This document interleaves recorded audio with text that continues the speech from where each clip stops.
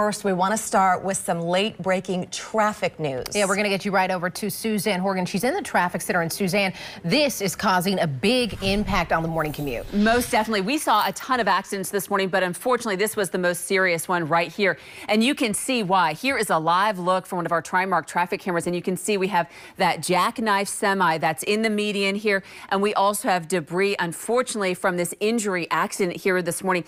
You'll notice that over on the left-hand side of your screen, the traffic that's traveling eastbound on the Watterson, they're now allowing some of those vehicles to get out of the queue and move through over onto the shoulder. So all the lanes are currently blocked, but the, you are able to kind of sneak by on the shoulder as you're traveling eastbound. Westbound, it looks like they're now allowing some of those vehicles that are coming off of 42 onto the Watterson as you're traveling westbound. But you can see, of course, this is a terrible accident scene with emergency crews there. We're also seeing additional backups. This is a live perspective on the left-hand side of your screen. That's the traffic on the Watterson that's heading eastbound or diverting onto Westport Road. So now we're seeing some backups, of course, on Westport Road as well as on 42.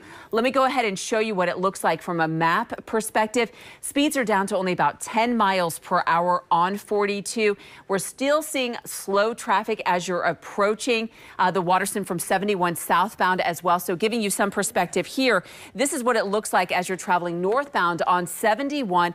Notice that they're still not letting you get onto the Watterson here. That's on the right-hand side of your screen. So if you're on 71 northbound, you have to stay on 71 here and not able, you're not able to divert onto the Watterson. So again, here's a live look at the scene. They are allowing some vehicles to get through as you're traveling eastbound on the Watterson.